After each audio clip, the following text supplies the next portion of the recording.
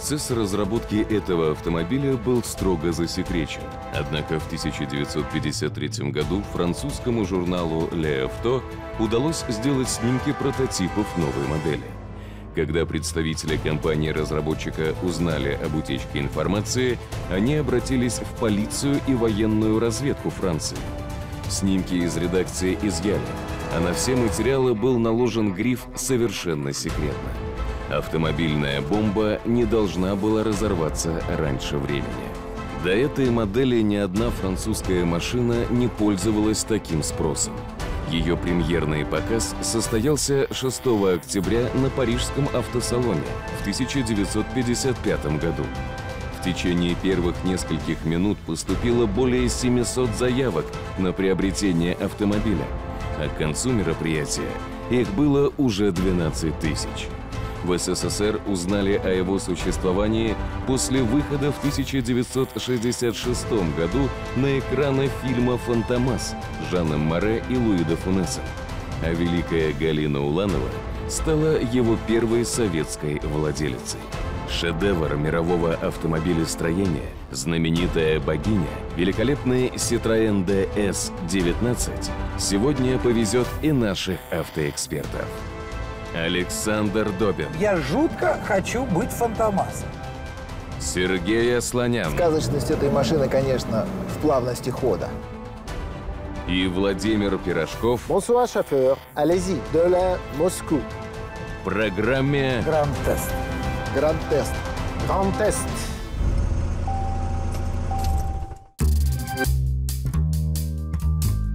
Этот автомобиль стал легендой в момент своего рождения. За пять лет он успел стать самым продаваемым в мире автомобилем. А в 1968 году, после того, как этот автомобиль буквально спас жизнь французского президента Шарля де Голля, Citroën DS был объявлен автомобилем номер один в Европе. Техническая революция, совершенная Citroën DS, опережала время на десятилетия. Односпицевый руль, поворотные фары и гидропневматическая подвеска взорвали привычное инженерное представление об автомобиле. И нам лишь остается позавидовать сегодняшним экспертам. Честно говоря, я не знаю, как анонсировать эту программу, потому что до сих пор DS-19 для меня был просто автомобилем с картинки. Я видел его в фильмах про Фантомас и несколько раз живьем. Сегодня редкая возможность совместить те чувства, которые ты испытываешь, глядя на машину, с теми эмоциями, которые ты испытываешь, сев за руль этого 60-летнего шедевра. В 1955 году, когда эта машина только появилась, французы сделали, по большому счету, весь мир счастливыми. Удивительный автомобиль, доступный каждому. И только в нашей стране мы посмотрели картинки, родители наши, может быть, даже дедушки и бабушки у кого-то, вздохнули и поняли, что поездить на этой машине не удастся никому и никогда. И вот перелистнув страницу истории, шагнув к 60-летию в 21 веке, некоторым из нас повезло поездить на этой машине и понять, чего же были лишены наши предки тогда, в год премьеры. А для меня Citroën – это особая история. Это часть моей жизни. Это добрые 10 лет в Париже. Это отношение к легенде. Это отношение к креативу и абсолютно новым решениям. Удивительный экземпляр 60-летней давности в конвейерном состоянии, доживший до наших дней, олицетворяющий самые яркие годы расцвета французского автомобилестроения. Непревзойденный дизайнерский прорыв Citroën DS в уникальном телевизионном эксперименте в ближайшие полчаса на нашем канале.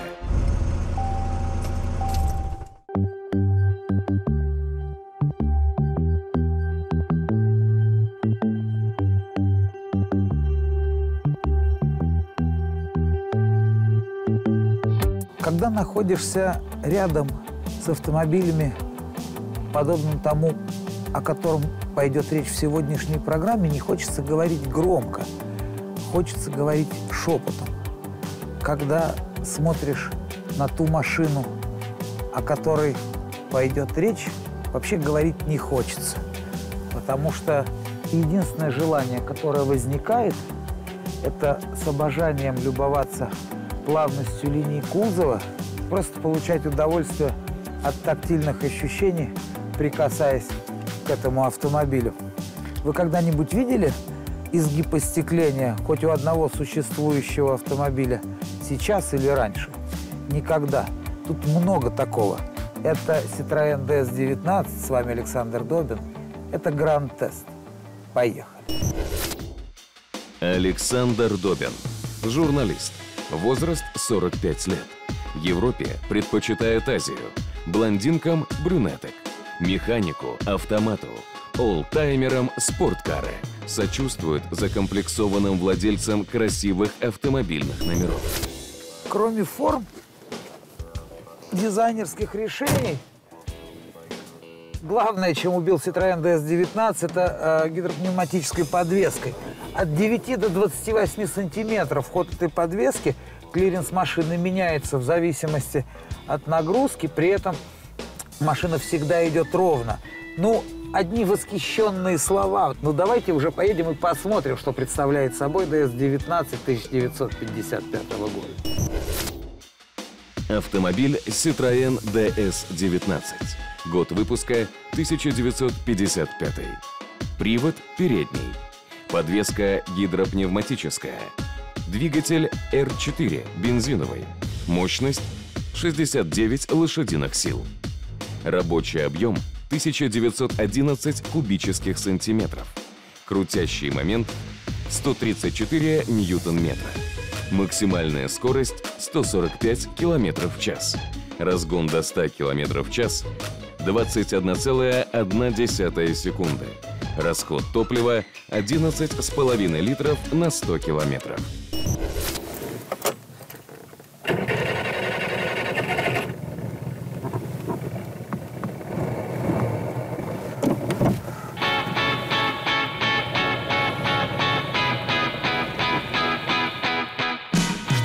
Водитель, находясь за рулем Citroёn DS 1955 года? Ну, современный водитель, надо оговориться, он чувствует недоумение, недоумение, удивление и восторг. Во-первых, я плохо понимаю, как на этой машине ездить ежедневно, потому что настолько низкий и настолько мягкий диван, что когда ты на нем сидишь, никаких других желаний не возникает, кроме как качаться вот на нем на пружинах, развлекая себя. Этот автомобиль стал легендарным с самого начала своего рождения. Ровно тогда, когда он появился на публике 6 октября 1955 года на парижском салоне, когда с машины сдернули покрывало, и восхищенная, восторженная публика, посетители э, салона сказали, никогда в жизни ничего подобного в автомобильной промышленности мировой они не видели.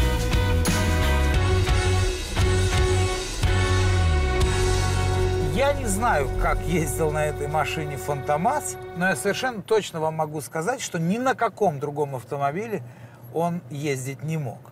Как часики работает мотор, настолько плавно идет машинка и настолько мягко, что не повернется язык говорить о том, что она устарела. Французский автопром в мгновение ока даже не проснулся знаменитым. За несколько секунд стал мировым лидером автомобилестроения. Это счастливо оглядываться по сторонам и кричать «Вы видели меня? Вы видели, на какой машине я еду? Вы видели, на чем?» Я подозреваю, что американцы э, кусали локти, потому что это не они, а европейцы. Более того, французы сделали космическую машину. При изящности форм, при инновационных, революционных инженерных решениях это был массовый автомобиль, что вообще не укладывалось в головах инженеров, дизайнеров и менеджеров концернов конкурентов.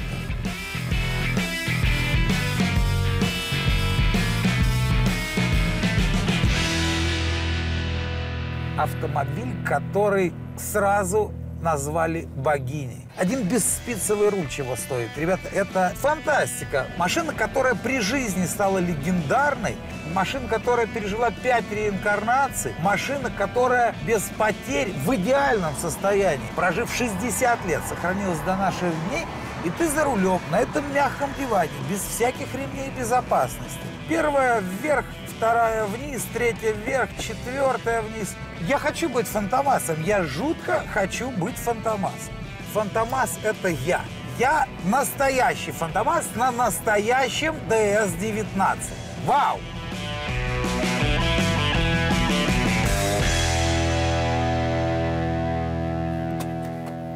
Помните, в начале программы я говорил о том, что рядом с этой машиной хочется говорить шепотом. Врал! Потому что эта машина эмоция. Автомобиль восторг. Как говорил герой одного известного фильма, это божественно. Кстати, откуда он знал? Откуда он знал, что в 1955 году на свет во Франции появится это чудо с названием «Богиня»? Это Грантест, друзья мои. Все самое интересное еще впереди. С вами был Александр Добин, а я обратно на Ситроен.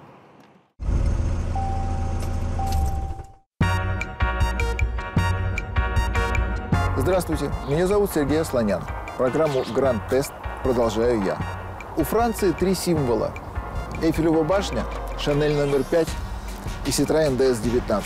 Работать над этой машиной – это заветная мечта любого инженера. Тот случай, когда людей вообще не ограничивали.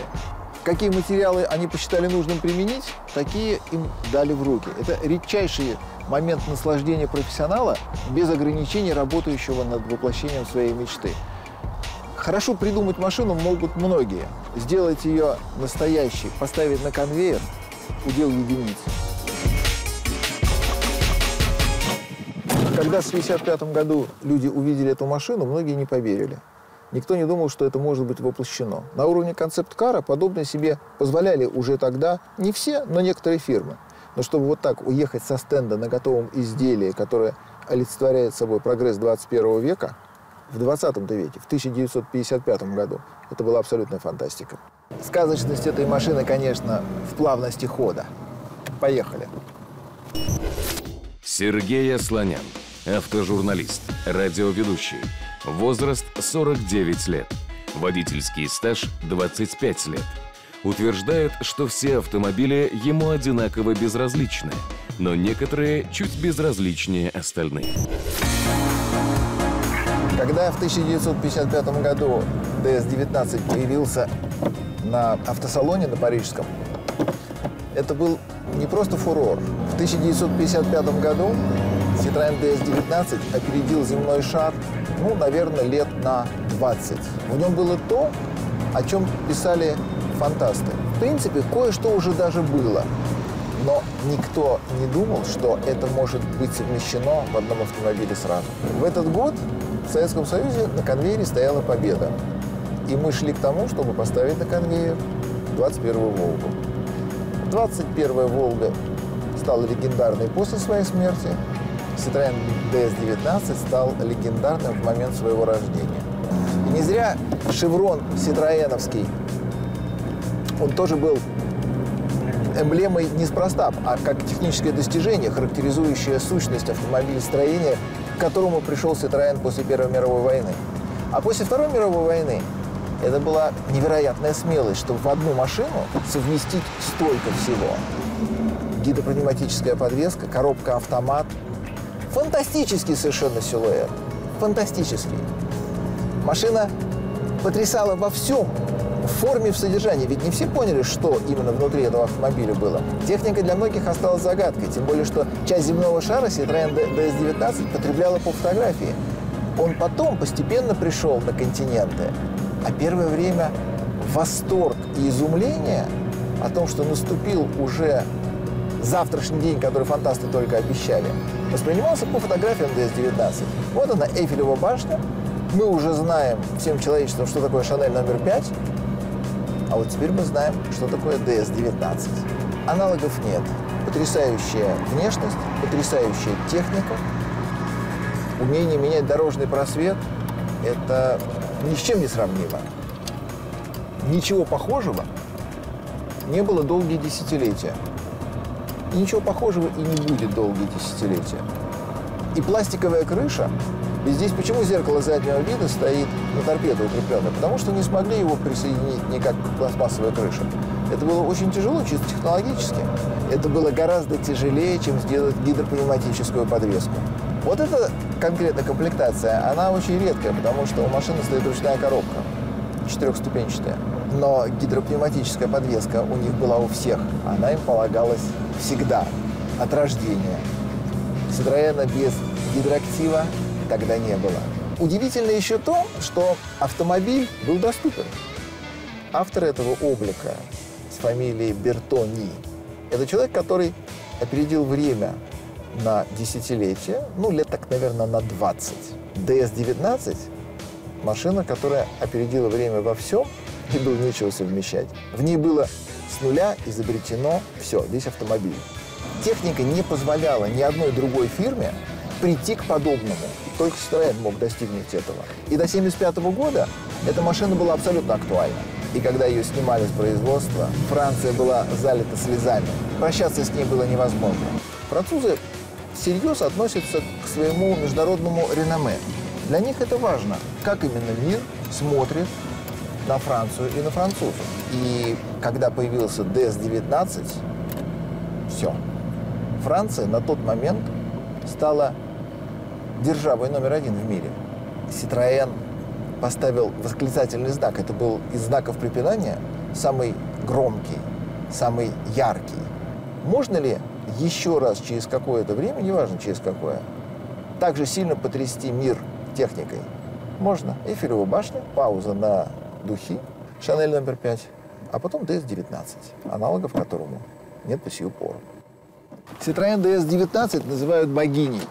Французы очень надеются, что DS нынешний, 21 века, став отдельным семейством, божественностью начала DS-19 выручит их в наши дни. Это был Сергей Асланян. Гранд-тест продолжается. 19DS – это необычный автомобиль. Может быть, даже это уникальный и единственный автомобиль, который был э, сделан в таком виде. Послевоенная Европа не имела ни денег, ни возможностей, ни производственных мощностей, чтобы производить такого класса автомобили. Но они были сделаны, и это заслуга французов. По причине того, что Citroën такой оригинальный и инновационный, я решил прийти работать именно на эту компанию, а не на какую другую. DS-19 – это ультиматум комфорта, это мечта любого автолюбителя. Да и не любителя, и профессионала тоже. И каждый хочет порулить, но я не буду рулить сегодня. Дело в том, что до недавнего времени Citroën DS был официальным автомобилем президента Франции. Поэтому я поеду сзади. И поеду сзади именно на месте руководителя государства.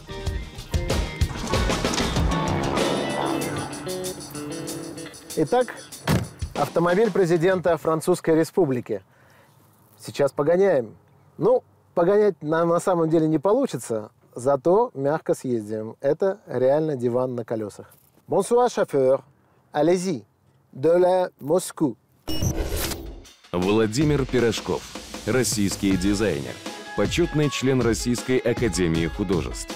Возраст 46 лет. Долгое время работал в компании Citroën, потом старшим дизайнером в Европейском дизайн-центре Toyota в Ницце. Под его руководством разработан дизайн факелов Олимпийского огня 22-х зимних Олимпийских игр 2014 года в Сочи. К автомобилям относятся трепетно. Я хочу вернуться в уже винтажный 94 год, 1994 год, когда я начал работать на компании Citroën. А, так получилось, что у меня был выбор между компанией Porsche и Citroën. И э, Citroën меня увлек именно как раз инновационностью. То, что мы сейчас видим здесь и на чем мы сейчас едем, это один из самых удивительных э, проектов компании Citroën и, собственно говоря, э, великого Андрея Citroёна. Однажды, когда я пришел на работу э, в центр э, дизайна Велизи под Парижем, мне нужно было сделать один сложный чертеж. Я где-то нашел кульман далеко в подвале, достал ватман, дорогой достаточно, прикрепил это все кнопками. И, достав хорошие линейки и папину трофейную готовальню, достал Resfeder и начал работать э, в старом добром стиле чертежников э, 50-х годов. Вокруг собрались несколько английских инженеров и говорят, слушай, неужели ты этим всем будешь э, чертить какую-то там коробку передач, например? Вот, я говорю, ребят, но у меня нет выбора, потому что те компьютеры, которыми вы работаете, я еще не знаю. У нас в Советском Союзе компьютеров особо-то и не было. Они говорят, ну давай посмотрим, что получится. Два дня я чертил этот чертеж, после чего я его сдал. Всем очень понравилось. И на следующий день один из инженеров принес мне очень удивительную модель Citroёn, вот такого размера где-то. У нее есть очень интересная история. В 1949 году группа дизайнеров, э, тогда художников-конструкторов, э, компания Citroën разрабатывала новую модель, которая должна была называться DS. Было сделано пять макетов. Э, Один из макетов был Фламинио Бертони, который, собственно, и победил в конкурсе. Скажем так, остальные четыре не победили. В 1962 году в центре стиля Citroën был пожар. Несколько макетов тогда пропали. Так вот, один из э, макетов как раз и был подарен мне. Это винтажная, оригинальная модель Citroёn DS, которая была представлена в 49 году Андре Citroёну. Вот, поэтому я ей страшно горжусь, она у меня дома.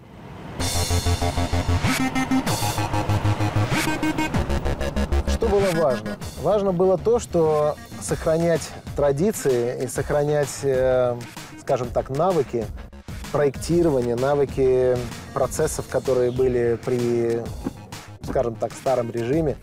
Это очень важно, и англичане это очень сильно оценили. Я им страшно благодарен.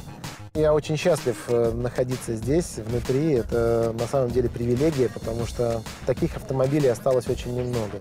В таком состоянии, то есть я сегодня смотрел на него и думал, господи, как же он прекрасно восстановлен, реставрирован. Ну, скажем так, снимая шляпу и отдаю честь тем людям, которые с такой любовью сделали эту машину.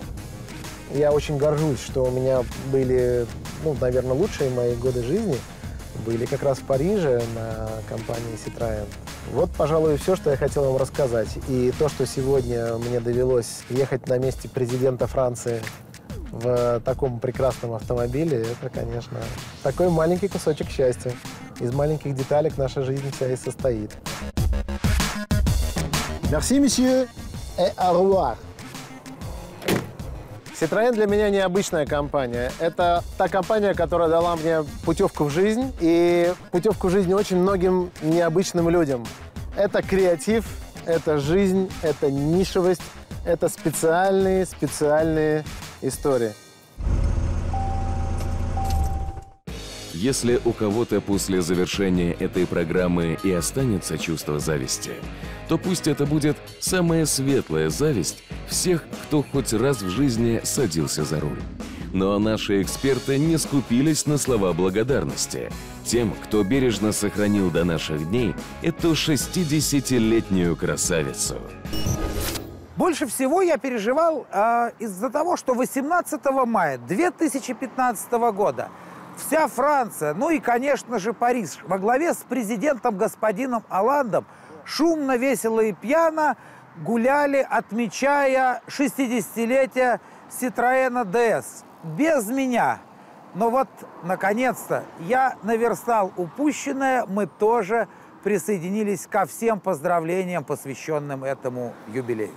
60 лет тому назад Citroën опередил человечество абсолютно по всем параметрам. Они сделали машину будущего, они сделали машину светлого завтра. Эта машина стала доступной, на ней поехали. А вот теперь мы можем, оглянувшись, сопоставить, что же было придумано французами фирмой Citroën в 1955 году и как много фирм дотянулись до этого уровня. Как много фирм за 60 лет смогли подняться до Citroën 1955 года. На самом деле, очень немногие, единицы. А для меня Citroën — это нечто большее, чем просто автомобиль. Это 10 лет моей жизни в лучшем городе мира, в Париже. И это путевка в жизнь. А как говорят французы, и к этой машине это применимо, хорошее вино становится только лучше.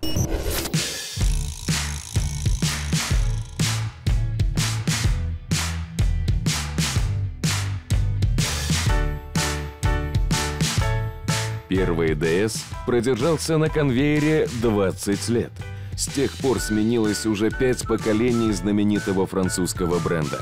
И какими бы космическими ни выглядели богини сейчас, в первую очередь это часть истории, красивой и яркой, прикоснуться которой можно любому из вас, просто посмотрев Гранд-тест. То ли еще будет.